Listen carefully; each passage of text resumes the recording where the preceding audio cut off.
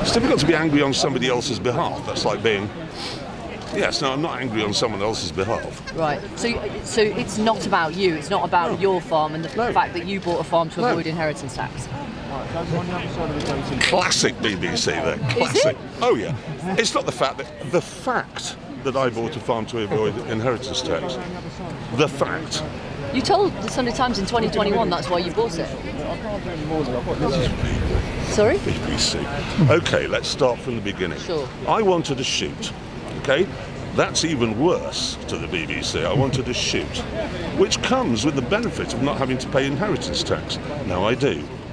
But people like me will simply put it in a trust. And so long as I live for seven years, that's fine. And as my daughter said, you will live for seven years. You might be in a deep freeze at the end of it, but you will live for seven years.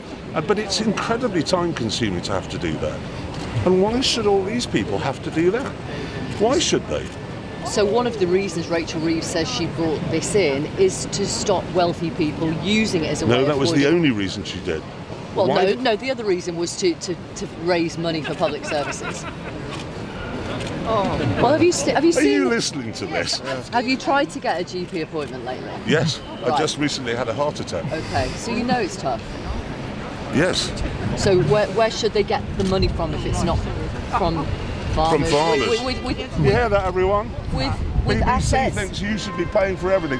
Mrs. Which- Cox, okay, you do know you know how many people fault. pay inheritance tax in this country? It's four percent of estates. What?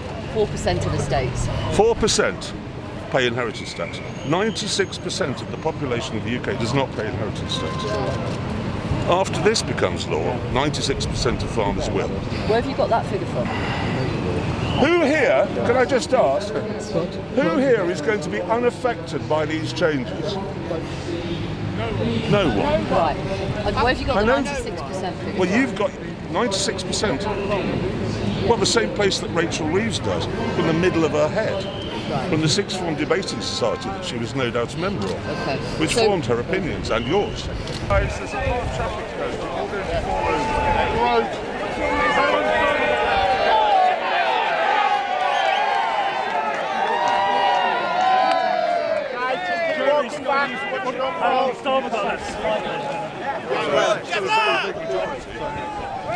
Short time. Jeremy, what's your word to the government? Jeremy, what's your word to the government? Go.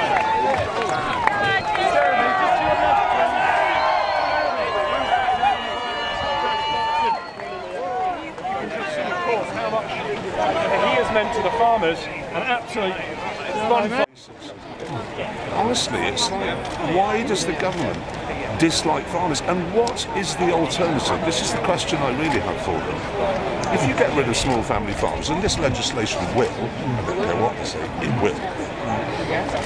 Then what? Well, they say it will only hit the big ones. Well, and that last time around it was They less say than that. 500 They that say would have that. actually paid this kind of... They also said they wouldn't, you know, raise taxes. Okay.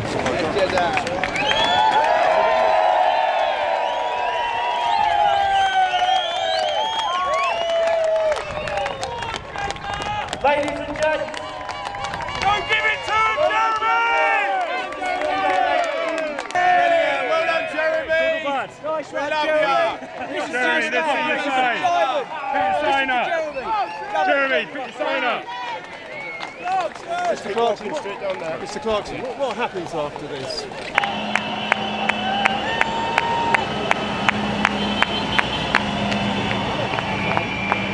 Two, three, go!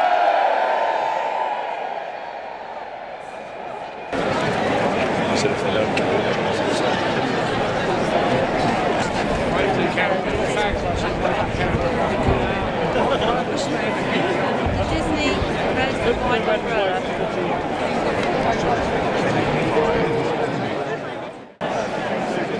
We all want fresh food. We don't want to eat bugs and lab meat. Yes, exactly. End of. Yeah. No processed food, and our farmers work so hard. They work so hard. They deserve every penny and more. They should get more they- support from the government, not less. Yes, yeah. Is the government doing enough? No, Nowhere near. Absolutely Nowhere not. near. no. They're doing enough to destroy them. Yeah, yeah, but not doing enough to help them and you know feed feed everybody proper food, keep us all healthy. And, and, and can, can today achieve anything? I hope so. It'll certainly highlight it, and people posting on social media, whether, whether the mainstream, I don't know what they'll do about it, but there's so many people post on, on mainstream media now and just spread the word and highlight it. So yeah. Awareness.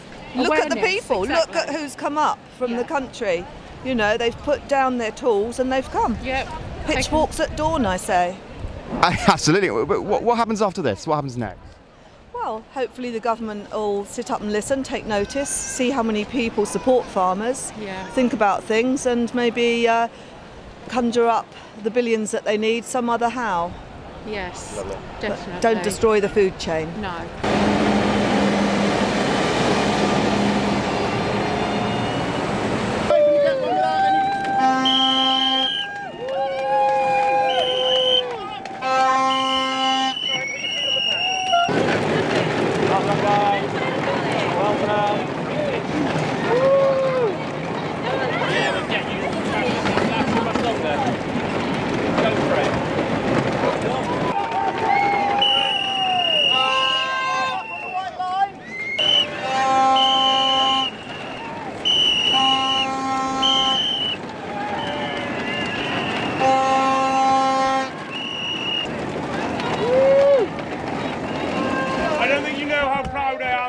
Am of these kids today and what they represent. They are the future of our industry. Our country needs our industry. We need them here. Look how proud they are to represent us. Guys! So thank you.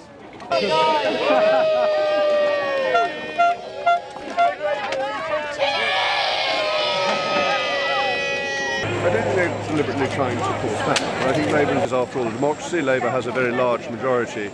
But I think people will be writing books in years to come about the destruction of the Labour Party and the decisions that led to its ultimate failure. And this is a very important one. Bear in mind, they only got 33% of the vote at the last election. It is not a popular movement anymore.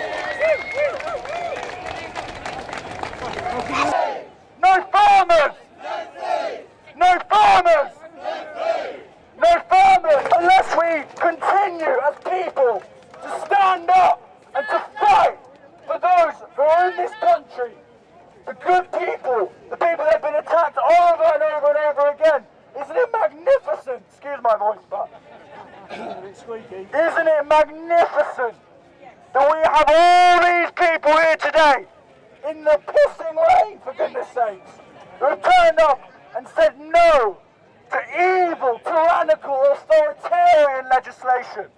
So once again, we can give it another go. And a one, and a two, and a three. No farmers! No farmers!